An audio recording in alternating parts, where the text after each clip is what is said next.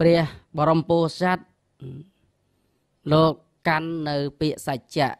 ទៀងត្រង់ណាស់ទោះបីថាពេលខ្លះដល់ចំណុចដែលលោកនឹងឯងត្រូវទទួលរាជសម្បត្តិហើយក៏មិនទទួលដែរពីព្រោះមិនទាន់ដល់ពេលវេលាដែលលោកអាចទទួលរាជសម្បត្តិបាននៅក្នុងរឿងហ្នឹងខ្ញុំប្រកាសណាខ្ញុំនឹង លើកជារឿងនឹងដើម្បីប្រកេនប្រកាសណាជាអំចាស់គ្រប់ព្រះអង្គពុទ្ធបរិស័ទបងប្អូនយើង ដើម្បីបានឱកាសស្ដាប់ហើយពិចារណាក្នុងរឿងនឹងទៀតនៅក្នុងបច្ចុប្បន្នសម័យទៀតអឺបបនៈសម័យទៀតព្រះសម្មាសម្ពុទ្ធជាអម្ចាស់ព្រះអង្គទ្រង់បានឃើញឧបនិស្ស័យ របស់កដុំពីរម្នាក់ដែលកដុំពីរហ្នឹងគាត់មានឧបនិស្ស័យហ្នឹងត្រូវសម្រេចរហូតដល់ទៅសោតាបតិផលនឹងកាលនោះគឺព្រះសម្មាសម្ពុទ្ធព្រះអង្គគង់នៅក្នុងវត្តចេតពុននឹងឯងជាអារាមរបស់លោកអនាថបិណ្ឌកសេដ្ឋីនៅពេលដែលកដុំពីរនឹងត្រូវឪពុក បានស្លាប់ធ្វើកាលកិរិយាអញ្ចឹងទៅក៏កើតសេចក្តីទុក្ខក្រើបសង្កត់នឹងអត់ធ្វើអីកើតទេព្រោះនឹកអឡោះអាល័យដល់លោកឪពុក ដែលបានស្លាប់នឹងឯងចឹងដូច្នេះនៅពេលព្រឹកព្រះសម្មាសម្ពុទ្ធជាអម្ចាស់ព្រះអង្គទ្រង់យាងទៅបិណ្ឌបាតនៅក្នុងក្រុងវេសលីព្រះអង្គទ្រង់ឆាន់ហើយ ទ្រង់បញ្ជូនវិខុទាំងឡាយឲ្យត្រឡប់ហើយព្រះសម្មាសម្ពុទ្ធព្រះអង្គកាន់យកវិខុមួយអង្គជាបច្ឆាសមណៈព្រោះព្រះសម្មាសម្ពុទ្ធព្រះអង្គទ្រង់មានបតីអនុគ្រោះប្រកបទៅដោយមហាករុណានឹងទានរបស់ព្រះសម្មាសម្ពុទ្ធនឹងដូច្នេះព្រះអង្គទ្រង់បានចូលទៅកាន់ផ្ទះរបស់កដុំពីរនឹង ការដែលព្រះសម្មាសម្ពុទ្ធព្រះអង្គទ្រង់យាងទៅដល់ហើយកដុំពីរនឹងក៏បានមើកក្រាបបង្គំទូលក្រាបបង្គំថ្វាយបង្គំព្រះសម្មាសម្ពុទ្ធព្រះអង្គក៏សាកសួរអ្នកសោយសោកកើតទុកព្រោះរឿងអីបានរៀបរាប់ថ្វាយព្រះសម្មាសម្ពុទ្ធទូព្រះបង្គំសោយសោកនឹងព្រោះតែលោកឪពុកនឹងឈឺ មានជំងឺចឹងដូចស្លាប់ទៅហើយខ្ញុំនឹងក៏កើតទុកនឹងនឹកអាឡោះអាឡៃអីចឹងទៅ បានជាមិនអាចធ្វើឲ្យបានព្រោះតែកើតទុកសោកសង្រេងសង្រៃនឹកលោកឪពុកអីចឹងបានព្រះសម្មាសម្ពុទ្ធជាអម្ចាស់ព្រះអង្គសម្ដែងជាប់តាក់ទងនឹងរឿងលោកធម៌ព្រះអង្គត្រាស់ មនាលឧបាសកបណ្ឌិត ក្នុងការមុន បានដឹងលោកធម៌ទាំង8ប្រការតាមសក្តីពិតហើយការបើបីដាធ្វើកាលកិរិយាទៅក៏មិនបានកើតនៅសក្តីសោយសោកសំបីតែបន្តិចបន្តួចទេនឹងរៀបរាប់ចឹងទៅក៏ដុំពីនឹងរតនីព្រះសម្មាសម្ពុទ្ធក៏ព្រះអង្គទ្រង់សម្ដែងរឿងនឹងមក នៅក្នុងជាដកឈ្មោះថាតសរថជាដកទាំងទុសរតជាដកជាដកនឹងទាំងនៅក្នុងជាដកនឹងទាំងមានរឿងនឹងដែលយើងធ្លាប់បានឮតែរឿងព្រះរាមព្រះលក្ខព្រះនាងសេដាហ្នឹងគឺនៅក្នុងជាដកនឹងឯងទេគណានៅក្នុងជាដកនឹង ប៉ុន្តែយើងម្នាក់ម្នាក់ច្រើនតែផ្អែកទៅលើរឿងនិទាននៅក្នុងសាសនាព្រាហ្មណ៍ដែលជាសាសនាព្រាហ្មណ៍ហ្នឹងគេមានរឿងហ្នឹងហើយបញ្ចេញបញ្ចូលរឿងហ្នឹងច្រើនទៅទៀតនៅក្នុងរឿងរាមកេនៅក្នុងរឿងរាមាយណៈរាមាយណៈអីហ្នឹងទៀតដូច្នេះក្នុងជាដកហ្នឹងនៅក្នុងជាដកហ្នឹង ក៏សំដែងជាប់តេតើនៅក្នុងរឿងព្រះរាមព្រះលក្ខអីក៏ជាប់តាក់ទើនឹងរឿងនាងសីតានឹងដែរតែក្នុងពុទ្ធសាសនាយើងណាមានរឿងពិតប្រកបចឹងដូចគ្នាតែតែបើរឿងក្នុងសាសនាព្រាហ្មណ៍វាមានច្រើនបន្តទៅទៀតប៉ុន្តែពុទ្ធសាសនាយើងមានតែបន្តិចទេគឺនៅក្នុងអតីតកាលគឺពរាជាមាននាមថាប្របាទទុសរត ព្រះអង្គទ្រង់បានសោយរាជសម្បត្តិនៅក្នុងទីក្រុងពេរិណសីទៀតរឿងហ្នឹងកើតក្នុងទីក្រុងពេរិណសីទៀតហើយព្រះអង្គទ្រង់គ្រប់គ្រងរាជប្រកបដោយធម៌មិនតាំងនៅក្នុងអកតិធម៌មិនលំអៀងទេទៀតមិនលំអៀងទេទៀតហើយព្រះអង្គទ្រង់មាននៅអគ្គមហេសីដែលជាស្ត្រីធំជាង ស្ត្រីវាំងនឹងប្រមាណជា16000ដែរប្រូប្របាទទុសរតនឹងមានស្នំអគ្គមហេសីអីទាំងអស់មាន16000នាក់ហើយអគ្គមហេសីរបស់ព្រះអង្គនឹងក៏ប្រសូតបានព្រះអរោះពីរព្រះអង្គហើយនឹងធីតានោះមួយអង្គអរោះច្បងនឹងមាននាមថារាមៈបណ្ឌិត គឺព្រះរាមនឹង រាជបុត្រទី1នឹងមាននាមថាព្រះរាមហើយរាជបុត្រទី2នឹងមាននាមថាប្រលក្ខហើយក៏មាននៅព្រះធីតាមួយអង្គនោះនាមថានាងសីតានាងសីតាដល់ពេលខាងក្រោយមក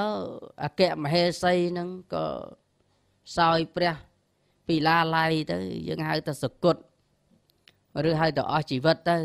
នឹង យ៉ាងពរាជា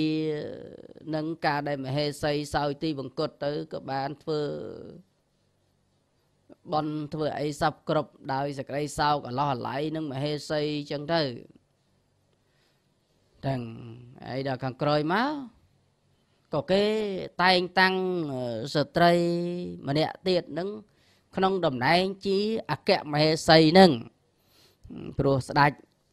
អស់មហេសីមួយអង្គហើយត្រូវតែតែងតាំងមហេសីមួយទៀតក្នុងតំណែងជាអគ្គមហេសីរបស់ពរាជានឹងអញ្ចឹងណាអញ្ចឹងពរាជានឹងមានមហេសីដែលបានសោយទីបង្គត់ទៅ មានព្រះរាជបុត្រពីរអង្គគឺព្រះរាមមួយព្រះលក្ខមួយ ហើយនឹងមានព្រះរាជធីតាមួយអង្គគឺព្រះនាងសីតាអញ្ចឹងហើយអគ្គមហេសីថ្មីទេអគ្គមហេសីថ្មីហ្នឹង បកែយកចិត្តទុកដាក់បំរើបំរាស់បរិជា មានការវិនិច្ឆ័យអីសពគ្រប់ល្អអញ្ចឹងទៅជាទីគប់ព្រះរាជហរតីរបស់ព្រះរាជាជាទីពេញចិត្តស្រឡាញ់របស់ព្រះរាជាអញ្ចឹងទៅព្រះនាងនឹងក្រោយមកក៏មានកទៅហេសីហ្នឹងក៏មានក នៅពេលដែលមានគោហ្នឹងព្រះរាជាលោកសបាយបតីព្រះរាជាប្រទានគ្រឿងរក្សាគោនឹងនឹងហើយដល់ពេលអញ្ចឹងទៅស្រាប់តែដល់ពេលប្រសូតមេសីហ្នឹងក្រោយហ្នឹងប្រសូតព្រះរាជបុត្រមកបានកូនប្រុសដាក់ឈ្មោះថាភរិតភរិតៈនេះភរិតភរិតភរិតដែលជាព្រះភរិតនេះ អញ្ចឹងព្រះរាជាឃើញរាជបុត្រល្អល្អអញ្ចឹងក៏ឲ្យពរថាយើងទៅទានពរដល់នាង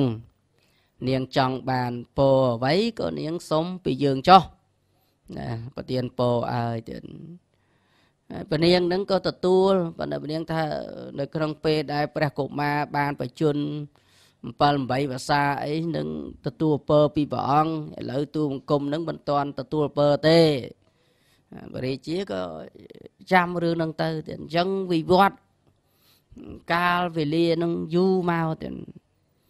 បរិជាបត់ត្រាមុនមុនក៏ធំធំបរិជាបត់ត្រីក៏ធំហើយដល់ពេលព្រះភរិតនេះព្រះភរិតនេះភិរតភរិតហ្នឹងណាព្រះភរិតហ្នឹងលោកក៏ធំព្រះរាជកុមារក៏ធំបានអាយុ7 8ឆ្នាំអញ្ចឹងទៅ អគ្គមហេសីនឹងក៏ចូលទៅក្រាបបង្គំទូល ថាព្រះអង្គបានត្រាស់ប្រទានពរដល់ទូព្រះបង្គំឥឡូវសូមព្រះអង្គទ្រង់ឲ្យពរនោះដល់ទូដល់ទូបង្គំចុះបានបរិជាសួរថានាងចង់បានពើអីយើងនឹងឲ្យស្រាប់តែអគ្គមហេសីក្រោយនោះក៏សុំព្រះរាជទាននៅរាជបល្ល័ង្ករាជសម្ដេច រាជសម្បត្តិថាទូបង្គំអត់មានចង់បានអ្វីទេសូមព្រះអង្គទ្រង់ប្រទានរាជសម្បត្តិដល់ព្រះរាជបុត្រភរតនឹងឲ្យឡើងសោយរាជជាស្ដេចណែទៅអញ្ចឹងទៅហើយព្រះរាជាលោកស្មានសុំរឿងអីអីព្រោះនឹកឃើញតែមហេសីនឹងប្រកាសជាមិនសុំអីរឿងរាជសម្បត្តិទេព្រោះដឹងតែរាជសម្បត្តិនឹងទៅធ្លាក់ទៅដល់ព្រះរាមហើយ ព្រោះប្របាទទុសរតនឹងដឹងអញ្ចឹងទៀតព្រោះធម្មតារាជប្រពៃណីប្រវេណីហ្នឹងគឺថាព្រះរាជបុត្រច្បងហ្នឹងត្រូវឡើងគ្រឿងរាជជាស្ដេចហើយស្រាប់ដល់ពេលហ្នឹងអគ្គមហេសីហ្នឹងទៅសុំទៅសុំពរហ្នឹងឲ្យកូនហ្នឹងឡើងសោយរាជសម្បត្តិជំនួសប្របីដាទៅវិញដល់ព្រះរាជាខ្ញាល់ហ្មង ខ្ញាល់តុងអេមីស្រីថោកនេះហើយចុះបុតយើងទាំងពីរនាក់ដែលកំពុងតែរុងរឿងហើយនាងនឹងឲ្យយកបុតយើងទៅណាហើយថាទៅមកសុំរាជបលាំងរាជសម្បត្តិនឹងឲ្យរាជបុតក្រោយនេះវិញអញ្ចឹងយ៉ាងសឡុតកំហែងទៅមហេសីនឹងផុតភ័យចូលទៅកាន់ដំណាក់ទៅ ដល់ថ្ងៃក្រោយក្រោយមកគឺគិតទៅសុំរាជសម្បត្តិហ្នឹងហ្មងអត់មានសុំអីទេថាព្រះអង្គត្រូវតែប្រទៀនព្រោះព្រះអង្គបានត្រាស់ថាប្រទៀនពរដល់ខ្ញុំម្ចាស់ឥឡូវខ្ញុំម្ចាស់នឹងអត់ទទួលយកអវ័យដតីក្រៅអំពីរាជសម្បត្តិដល់ព្រះរាជបុត្រផារ៉ាត់នឹងទេព្រះអង្គត្រូវតែ ឲ្យនៅរាជសម្បត្តិនឹងដល់ព្រះរាជបុត្រនឹងអញ្ចឹងព្រះរាជាលោកគិតពិចារណាតែមហេសីនឹងគិតទៅរឿងចង់បានរាជសម្បត្តិដល់រាជបុត្រផារ៉ាត់ទៅតែបជន7 8ឆ្នាំនឹងមើលទៅបុត្រពីមុនពីមុនមកមិនអាចនៅជាសុខទេ វាជារឿងធម្មតាទេមាតុក្រៀមជាមនុស្សអកតញ្ញូត្រួសមិត្តណែធម្មតាទេគឺថាចង់បានឲ្យតែបុតរបស់ខ្លួនឯងនឹងឯងដើម្បីឡើងសោយរាជាស្ដេចរឿងបុតដតីនឹងមិនខ្វល់ទេអញ្ចឹងមនុស្សស្រីនឹងមានល្បិចពឹសពុលច្រើនណាស់ជាមៀតទៅក្រៀមនឹងគាត់ថាសម្បូរទៅដោយភាពអកតញ្ញូនឹងទ្រោះមិត្ត នឹងអាចដើម្បីប្រល្បិចកិច្ចកលឲ្យគេសម្លាប់បុតទាំងពីរខាងដើមនឹងខានទេអញ្ចឹងគិតពិចារណាចឹងអញ្ចឹងគឺថាដើម្បីរំដោះឲ្យពរិជ្ជបុត្រនឹងចាក់ចេញអំពីរាជវាំងទៅនៅឆ្ងាយក៏ហៅរាជបុត្រមកក៏ហៅរាជបុត្រមកត្រាស់ចូលកលហើយក៏ប្រាប់បុត្រ ប៉ះសិនបើបុត្រទាំងពីរនៅក្នុងរាជវាំងនេះបន្តទៅទៀតគង់នឹងមានថ្ងៃអន្តរាយមិនខានទេដោយមហេសីដែលជាព្រះមហាក្សត្រីយនីបច្ចុប្បន្នហ្នឹងគឺថាមានបំរងឲ្យផារ៉ាត់នឹងឡើងគ្រឿងរាជាស្ដេចអញ្ចឹងអាចនឹងប្រើល្បិចកិច្ចកល នៅក្នុងការសម្លាប់នៅរាជបុត្រនឹងមិនខាន ប្រាប់អញ្ចឹងអញ្ចឹងមានតែបុត្រនឹងទៅនៅក្នុងសមន្តរតនៅប្រទេសដតីដតីឬក៏ចូលទៅនៅក្នុងព្រៃទេហើយបន្ទាប់អំពីប្របីដាចូលទីបង្គត់ទៅរាជបុត្រនឹងត្រូវតែមើកទទួលរាជសម្បត្តិអំពីប្របីដាហើយ សម័យហ្នឹងព្រះរាជាឲ្យពួកព្រាមហោរាចាដែលជាអ្នកជំនាញនៅក្នុងការកណនីលក្ខណៈដួងជីវិត ត្រាស់បញ្ជាឲ្យពួកព្រាមចូលទៅគាល់មើលសួរកំណត់បជនរបស់ព្រះអង្គអញ្ចឹងទៅកណនីទៅថាព្រះអង្គមិនអាចតាំងនៅបានរហូត អាយុវែងទៀតទេគឺថា12ឆ្នាំទៀតព្រះអង្គនឹងសោយទីវង្គតដែរតែ12ឆ្នាំទៀតព្រះអង្គនឹងសោយទីវង្គតតាមលក្ខណៈដួងចតាជីវិតនឹងទៅត្រូវទៅអស់បជនទៀត12ឆ្នាំទៀតអញ្ចឹងបានពរិជានឹងត្រាស់ប្រាប់ពរិជាបុត្រហ្នឹងថាឥឡូវកន្លងទៅ12ឆ្នាំទៀតរាជបុត្រចូលនាំមហាជនមកឲ្យលើកស្វេតឆាត់ឡើងសោយរាជជាស្ដេចទៅ ត្រាស់បង្កប់បញ្ជាអញ្ចឹងព្រោះពរិជា ដឹងថាមិនអាចរស់លើសអំពី12ឆ្នាំទៀតទេ12ឆ្នាំទៀតឲ្យឡើងមកសោយរាជអញ្ចឹងត្រាស់អញ្ចឹងហើយព្រះរាជបុត្រច្បងគឺព្រះរាមនឹងក៏ទទួលថាបកណាថ្លៃវិសេសព្រះអង្គទទួលកំណត់ថា12ឆ្នាំទៀតនឹងមកសោយរាជទទួលពាក្យហ្នឹងទៀតព្រមថា12ឆ្នាំទៀតនឹងនឹងឡើងមកសោយរាជជាស្ដេច មកកាន់យកនឹងហើយក៏ប្រកាសនៅតំណែងជារាជរាជទេយាទគឺព្រះរាមនឹងនឹងត្រូវឡើងសោយរាជជាស្ដេចចឹងទៅអញ្ចឹងព្រះអរោះនឹងក៏បានទទួលចឹងហើយក្រាបថ្វាយអង្គមប្របីតាមានព្រះកន្សែងយំចឹងទៅចេញចាក់ប្រាសាទព្រះនាងសេដា សេដាហ្នឹងគឺជារាជបុត្រីហ្នឹងនាងសេដាហ្នឹងគិតថាបើម្ចាស់បងទាំងពីរត្រូវទៅនៅព្រៃឬក៏ទៅនៅតាមបច្ចុប្បន្នបត់ហើយអញមិនគួរនឹងនៅទីនេះទេអញ្ចឹងក៏សូមអង្វរប្របីដាហ្នឹងទៅមួយ ទៅជាមួយម្ចាស់បង គឺព្រះរាមនិងពលៈហ្នឹងនាងសីតាហ្នឹងក៏សូមទៅ ជាមួយនឹងព្រះរាមពលៈហ្នឹងប្របីដាហ្នឹងក៏អនុញ្ញាតអញ្ចឹងខ្សាត់ដែលជាអ្នកមាននៅសុខមាលជាតិជាស្ដេចទាំង3អង្គហ្នឹងក៏ចេញចាកអំពីទីក្រុងនឹងឯងធ្វើដំណើរចូលទៅកាន់ព្រៃហេមពៀនទៅនៅ ក្នុងព្រៃអទៀតទៅនៅសាងព្រៃនៅក្នុងព្រៃហ្នឹងកូនស្ដាច់ហើយព្រះរាមហ្នឹងជាតួអង្គប្រពោធស័តនៃយើងទៀតនឹង ព្រះបរមពោធិសត្វហ្នឹងទៅនៅក្នុងព្រៃហ្នឹងសាងជាអាស្រមចឹងទៅហើយនៅទីនោះក៏បរិភោគនៅផ្លែឈើតូចផ្លែឈើធំចំជីវិតដែលអាស្រ័យផ្លែឈើអាស្រ័យទឹកនៅក្នុងព្រៃនឹងរស់នៅតាមព្រៃនឹងឯងចិញ្ចឹមជីវិតនឹងចំណែកឯពលៈហើយនឹងនាងសីតានឹងក៏ទូសុំព្រះរាមសុំព្រះរាម ដែលជាព្រះបរមពោធិសត្វនឹងថាសុំឲ្យព្រះអង្គតាំងនៅក្នុងតំណែងជាប្របីតាហើយព្រះអង្គគង់នៅក្នុងអាស្រមនឹងចោះខ្ញុំម្ចាស់នឹងទៅនាំនៅផ្លែឈើតូចផ្លែឈើធំមើមដំឡូងឬក៏ផ្លែឈើផ្សេងផ្សេងនឹងយកមកថ្វាយមិនចាំបាច់ខ្វល់ខ្វាយអីទេឲ្យគង់ចម្រើនបរិបត្តិធម៌ចម្រើន ចិត្តរបស់ខ្លួនឯងនៅក្នុងអាស្រមហ្នឹងហើយអញ្ចឹងព្រះរាមហ្នឹងក៏ព្រមទាំងព្រះរាមហ្នឹងក៏ឲ្យប្អូនគឺប្រលាក់ហើយនឹងនាងសីតាហ្នឹងចេញទៅរកផ្លែឈើទៀតរកផ្លែឈើអញ្ចឹងបានតែយើងមើលនៅក្នុងរឿងកវេសន្តរទៀតវេសន្តរនាងវត្រី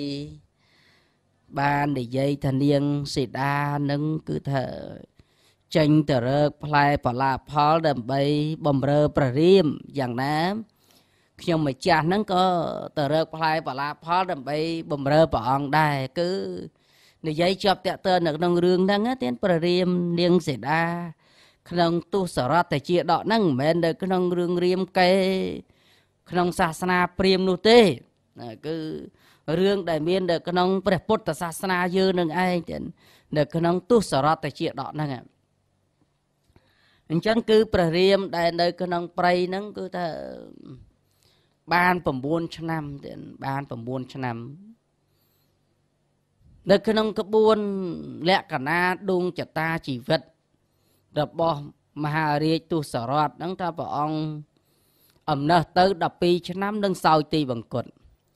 ប៉ុន្តែដោយសារព្រះអង្គនឹងកើតទុកនឹកពរាជបុត្រច្បងអញ្ចឹងទៅចិត្តនឹងវាអត់ស្ងប់ ចិត្តនឹងរវើរវាយមានជំងឺមិនសប្បាយអញ្ចឹងទៅអត់បានអាយុដល់12ឆ្នាំណាទេ9ឆ្នាំស្រាប់តែសោយទីបង្គត់ទៅនឹងសោយទីបង្គត់ទៅ9ឆ្នាំដល់9ឆ្នាំបើយើងគិតមើលទៅព្រះរាជបុត្រព្រះផារ៉ាត់មានអាយុ16ឆ្នាំទៀត16 17ឆ្នាំកំឡោះធំហើយ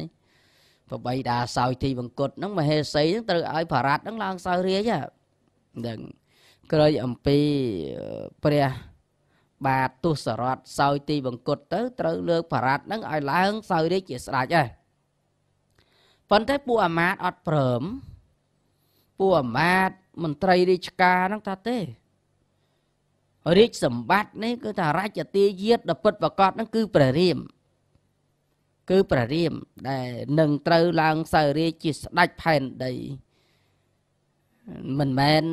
ព្រះបរតកុមារទេព្រះរាជកុមារបរតនឹងមិនមែនជារាជទេយាទេហើយព្រះបរតកុមារនេះក៏គោរពម្ចាស់បងដែរគោរពម្ចាស់បងនឹកឃើញថាគោរពបងជាធំព្រះរាមនឹង ក៏មិនព្រមសោយរាជដល់ខ្លួនឯងទេដឹងទោះបីជាប្រមាទដានឹងអង្វរថារាជបុត្រត្រូវតែឡើងគ្រឿងរាជជាស្ដេចផែនដីប៉ុន្តែព្រះបរតមិនព្រមទេថាឡើងសោយរាជមិនព្រោះតំណែងរាជបល្ល័ង្កនេះគឺជារបស់ព្រះម្ចាស់បងព្រះរាមណាអត់ព្រមទេអញ្ចឹង ភរតកុមារនឹងក៏បានយកនៅបញ្ចរាជកកុធៈភ័ណ្ឌដែលជារាជសម្រាប់ឡើងគ្រឿងរាជរបស់ស្ដេចនឹងគឺមានប្រខណ្ឌមានស្វេតឆាតមានមកុដមានសុពបាតមានផ្លិតវិជ្ជនីនឹងអាហ្នឹងគឺថាទាំងអស់ហ្នឹងគឺជា រាជសម្បត្តិដែលត្រូវឡើងសេរីហើយតែជាបញ្ចរាជកកុធៈភ័ណ្ឌនឹងចឹងនាំពួកសេនាទាំង4នឹងធ្វើដំណើរពីទីក្រុងបរិណស័យនឹងឆ្ពោះទៅកាន់ប្រេហេមពៀនរហូតដល់ទៅបោះបន្ទាយនៅក្នុងទីមិនឆ្ងាយពីអាស្រមរបស់ព្រះរាមនោះទេ នៅក្នុងវេលាដែលព្រះលក្ខនិងនាងសេតា ចេញទៅព្រៃក៏នាំគ្នាបានចូលទៅគាល់ព្រះរាមចូលទៅគាល់ព្រះរាមក៏បានសាកសួរដល់ម្ចាស់បងពីសេចក្តីសុខទុក្ខហើយក៏ក្រាបបង្គំទូលដល់ព្រះរាមពីប្របីតាដែលបានសោយទីបង្គត់ទៅហើយនឹងនឹងរៀបរាប់ចឹងទៅទៀតភារតហ្នឹងក៏ ទៅឃើញម្ចាស់បងទៅក៏យំទួញសោកសឹកសួលចិត្តប្របាទរបស់ម្ចាស់បងនឹងឯងជាមួយពួកអាមាត្យនឹងនឹងហើយរៀបរាប់ពីប្របីតាដែលបានសោយទីបង្គត់នឹងទៀតប៉ុន្តែព្រះរាមលោកពិចារណាឃើញរឿងសង្ខារធមន្ទៀងជាបណ្ឌិតណាយល់ដឹង ច្រើននៅក្នុងរឿងសភាពប្រែប្រួលរបស់សង្ខារធម៌ទៀតទោះបីជាពរិជ្ជកុមារបរតអាមាតក្រាបបង្គំទូលពីការសោយទីបង្គត់របស់ប្របីតាតែព្រះរាមមិនបានយំទួញកន្សែងឬក៏ធ្វើឲ្យខុសប្រកដីទៅជាឥន្ទ្រីនឹងយ៉ាងម៉េចស្ដេកស្លាំងឬក៏ក្រៀមក្រំអីអត់ទេបង្ងើយទៀតនឹកនឹង បង្ងើយចឹងទៅនឹងហើយពេលដែលបារតប្រថាប់គង់កសែងយំចឹងទៅ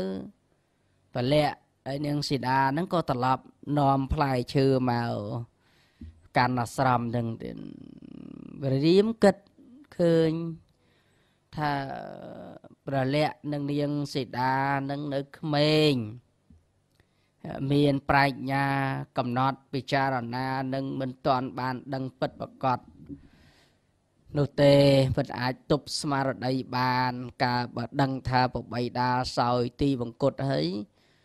រមែងអាចនឹងមានភាពវិសញ្ញ័យស្លាប់អីចឹងព្រោះសេចក្តីសោកអញ្ចឹងទៅព្រះរាមនឹងក៏បានឲ្យ ចាត់ចែងទៅនៅពេលដែលប្រលាក់ហើយនឹងនាងសេដាត្រឡប់មកពីព្រៃមកក៏ប្រាប់ប្អូនថាលាក់ហើយសេដាចុះទៅក្នុងស្រះបោកករណីហើយត្រាំទឹកចុះហើយឯណោះដូចជាអត់មានបានទៅតមាត់តម៉ាបងអីទៅម្ចាស់បងឯងមិនក៏ប្រើទូអង្គមឲ្យទៅត្រាំទឹកអីទៅមកពីព្រៃបេះផ្លែឈើអី ម្ចាស់ប្អូននោះក៏សេដានោះក៏មិនបានតអីនាំគ្នាចូលទៅក្នុង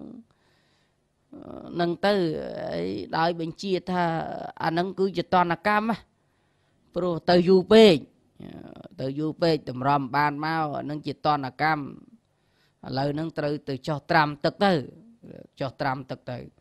ហើយនៅលើតតនកម្មចោះត្រាំទឹកហ្នឹងក៏ស្ដាប់គោរពម្ចាស់បងហ្នឹងក៏ចោះទៅក្នុងស្រះបោករណីទៅ ដល់ទៅចោះទៅក៏ប្រាប់ប្រាប់ប្អូននឹងណែលក្ខណៈនឹងនាងសីតាអ្នកទាំងឡាយចូលមើកអ្នកទាំងពីរចូលចោះទឹកទៅប្រាប់ចឹងនៅពេលដែលបានចោះទៅឈើនៅក្នុងទឹកនឹងក៏បានប្រាប់រឿងហ្នឹងប្រាប់ថាឥឡូវនេះបារតកុមារពរិជ្ជកុមារបារត ព្រមទាំងអាមាតបានយកដំណឹងមើកប្រាប់យើងថាព្រះបាទទុសរតទ្រង់សោយទីបង្គត់ហើយក្រនតលឺប្រប៉ុណ្ណឹងអ្នកទាំងពីរអ្នកហ្នឹងក៏វិសញ្ញភាពស្លាប់បាត់ទៅភ្ញាក់ខ្លួនឡើងសួរទៀតប្រាប់ទៀតស្លាប់ទៀតស្លាប់3ដងបានស្លាប់ចឹងទៅបានលើកទី3បានខ្យល់អសសៈបសសៈ រួចចឹងទៅ ប្រាប់ហើយក៏ភ្ញាក់ឡើងទៅ ដឹងថាបបីដាសោយទីបង្គត់ទៅក៏បានសោយសោកជុំកន្ទុកន្ទិញចឹងទៅនឹងលើតែបបីដាសោយទីបង្គត់មិនអាចទប់នៅសេចក្តីសោកបាន តែព្រះរាមមិនបានសោយសោកឬក៏ក្រៀមក្រំអ្វីទេនឹងនឹងអញ្ចឹងបានជាបារតនឹងក៏បានសួរព្រះរាម ថាបបិទ្ធព្រះរាមដោយអានុភាពអ្វីទៅទ្រង់បានឮថាប្របីដាទីបង្គត់ហើយមិនសោកសោកមិនសោយសោករបស់ដែលគួសោកស្ដាយសេចក្តីទុកមិនក្របសង្កត់ព្រះអង្គអញ្ចឹងទើបបានប្ររៀមនឹងប្រកាសប្រាប់ពីរឿងនឹងទៀតប្រកាសប្រាប់ជាគាថាហ្នឹងព្រោះមាននៅក្នុង3ដកលេខ 59នឹងជីវិតណារបស់ពួកសត្វបណ្ដាពួកបរោះដែលរវើរវាយបរោះសំបីតែម្នាក់ក៏មិនអាចដើម្បីរក្សាជីវិតច្រើននោះបានទេវិញ្ញូជនជាមេធាវីនោះធ្វើខ្លួនឲ្យក្តៅក្រហាយដើម្បីអ្វីសេចក្តីពិតថា ជនទាំងឡាយណាទាំងក្មេងទាំងចាស់ទាំងល្ងងទាំងប្រាជ្ញទាំងអ្នកមានទាំងអ្នកក្រ ជនទាំងអស់នោះសុទ្ធតែមានសេចក្តីស្លាប់នៅខាងមុខផ្លែឈើទុំទាំងឡាយមានសេចក្តីខ្លាចអំពីកិរិយាជ្រុះជានិច្ចយ៉ាងណាមិញពួកសត្វកើតហើយក៏មានសេចក្តីខ្លាចអំពីសេចក្តីស្លាប់ជានិច្ចយ៉ាងនោះដែរជនទាំងឡាយច្រើនពួកខ្លះគេឃើញក្នុងវេលាព្រឹកវេលាល្ងាចមិនឃើញ ជនទាំងឡាយច្រើនពួកខ្លះគេឃើញក្នុងវេលាល្ងាចវេលាព្រឹកមិនឃើញ បើបុគ្គលអ្នកវង្វេងការសឹកសួរបៀតបៀនខ្លួន ហើយក៏បីនាំមកនៅប្រយោជន៍បន្តិចបន្តួចបាន អ្នកប្រាជ្ញក៏គប្បីធ្វើសេចក្តីសឹកសួលនោះដែរបុគ្គលសឹកសួលបៀតបៀនខ្លួនរបស់ខ្លួនជាអ្នកស្គមមិនមានពណ៌សម្បុរពួកសត្វដែលទៅកាន់បរលោក មិនមែនញ៉ាំងអត្តភាពឲ្យប្រព្រឹត្តទៅដោយសេចក្តីសឹកសួលនោះឡើយព្រោះថាសេចក្តីសឹកសួលមិនមានប្រយោជន៍ទេ បណ្ឌិតបរោះក៏បីញ៉ាំងផ្ទះដែលភ្លើងឆេះឲ្យរលត់ដោយទឹកបានយ៉ាងណាមិញធីរជនជាមេធាវីបណ្ឌិត បានស្ដាប់ហើយក៏បីញ៉ាំងសេចក្តីសោកដែលកើតហើយឲ្យរលត់ឆាប់ដោយខ្យល់បក់ផាត់នៅប៉ុយយ៉ាងនោះដែរសត្វដែលមែងទៅកាន់បរលោកតែម្នាក់ឯងកើតក្នុងត្រកូលក៏តែម្នាក់ឯងការសែបគប់នៃពួកសត្វទាំងអស់ គឺមានការជួបជុំជាការប្រសើរបំផុតព្រោះហេតុនោះសេចក្តីសោកទាំងឡាយសំបីធំក៏មិនដុតកម្ដៅនៅហតយវត្ថុនិងចិត្តរបស់អ្នកប្រាជ្ញជាពហុសោតដែលឃើញច្បាស់នៅលោកនេះ និងលោកខាងមុខព្រោះដឹងច្បាស់នៅធម៌យើងនោះនឹងរសាយួរផងភោគៈផងភរិយាទាំងឡាយផងញាតិទាំងឡាយផង និងជនដ៏វិសេសផង នេះជាកិច្ចរបស់អ្នកប្រាជ្ញ នឹងព្រះរាមលោកបានប្រកាសនៅអនិច្ចតាធោនឹងដោយមានគៀតថាប្រមាណជា10គៀតថាទៀត10គៀតថានឹងដូចបានពោលលំបាញ់មិញនឹងជាប់តាក់ទើងនឹងសភាពមិនទៀងជាដើម របស់សង្ខារធូនឹងទៀតនឹងយើងគិតមើលព្រះរាមពោធិសត្វបានពោលពីរោះទៀតជីវិតសត្វនឹង ជីវិតសត្វជីវិតណារបស់ពួកសត្វបណ្ដាពួកបរោះដែលរវើរវាយបរោះសំបីតែម្នាក់ក៏មិនអាចដើម្បីរក្សាជីវិតនោះច្រើនបានទេនឹងអត់បានទេទៀតហើយក្នុងโลกនេះមិនថាក្មេងចាស់ល្ងងប្រាជ្ញក្រមានទេសុទ្ធតែមានសេចក្តីស្លាប់ហ្នឹងហើយផ្លែឈើទុំគឺថាខ្លាចជ្រុះចាក់ តើងចនិចប៉ុន្តែវានៅតែជ្រុះយ៉ាងណាមនុស្សយើងខ្លាចសេចក្តីស្លាប់ប៉ុន្តែដោយសារតែមានកំណើតកើតនឹងទើបស្លាប់អាហ្នឹងវាជារឿងធម្មតាហើយអ្នកខ្លះយើងឃើញពេលព្រឹកថ្ងៃលែងឃើញអ្នកខ្លះឃើញពេលថ្ងៃយប់លែងឃើញអ្នកខ្លះឃើញថ្ងៃនេះស្អែកលែងឃើញព្រោះអីព្រោះតែលាចាក់លោកទៅដោយសង្ខារធោវាអត់ទៀង អញ្ចឹងបានប្ររៀមពោលថាបុគ្គលវង្វេងការសឹកសួលបៀតបៀនខ្លួនបុគ្គលវង្វេងអ្នកដែលកើតសឹកសួលនឹងគឺបៀតបៀនខ្លួនហើយមិនបាននាំមករប្រយោជន៍តិចតួចទេ អ្នកប្រាជ្ញគេមិនធ្វើការសឹកសួលអ៊ូអាក់ទេនឹងព្រោះអត់មានបានប្រយោជន៍អីនៅក្នុងការសឹកសួលនឹងក៏បីញ៉ាំងផ្ទះដែលភ្លើងឆេះអរលត់ដោយទឹកបានយ៉ាងណាមិញ អ្នកប្រាជ្ញជាបណ្ឌិតមេធាវីហ្នឹងគឺថាញ៉ាំងសក្តីសោកនឹងឲ្យរលត់ទៅឲ្យរលត់ទៅដោយទឹកឬក៏ឲ្យខ្យល់នឹងឯងផុតផាត់បាត់ទៅដូចជាផុតផាយនៅប៉ុយអញ្ចឹងអានឹងអញ្ចឹងទៅនឹងបានព្រះរាមរៀបរាប់នឹងធម្មទេសនានឹងប្រកាសសេចក្តីមិនទៀង ចឹងទៅស្ដាប់ទៅពេលហ្នឹងព្រះផារតកុមារដែលជាព្រះរាជបុត្រក៏ទូលសុំឲ្យព្រះរាមនឹងឡើងក្រឹងរាជជាស្ដេចនៅក្នុងនគរបរិណស័យទៀតនឹងស្រាប់តែព្រះរាមលោកអត់ព្រមទៅទៀតអត់ព្រមទៀត ថាឲ្យនាំប្រល័កហើយនឹងសេដាទៅទៅគ្រឿងរាជសម្បត្តិទៅឲ្យនាំប្រល័កហើយនឹងសេដាទៅគ្រឿងរាជសម្បត្តិទៅតែអញ្ចឹងទៅភរៈផារ៉ាត់ហ្នឹងថាទេព្រះអង្គត្រូវតែទៅគ្រឿងរាជសម្បត្តិទទួលតំណែងនឹងប៉ុន្តែព្រះរាមលោកលោកទទួលលោករសានៅពាក្យសច្ចៈពីព្រោះប្របីតាបានផ្ដាំថា បន្ទាប់អំណើសទៅ12ឆ្នាំចាំ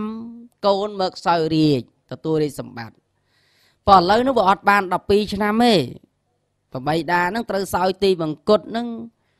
ត្រឹម9ឆ្នាំក្រោយអំពីប្រលៀមទៅនៅព្រៃទៀតដល់ពេលអញ្ចឹងទៅវាទៅបាន9ឆ្នាំអញ្ចឹងវាប្របីតាថា12ឆ្នាំក្រោយចាំកូនមកសោយរាជអញ្ចឹងទៅសោយរាជមិន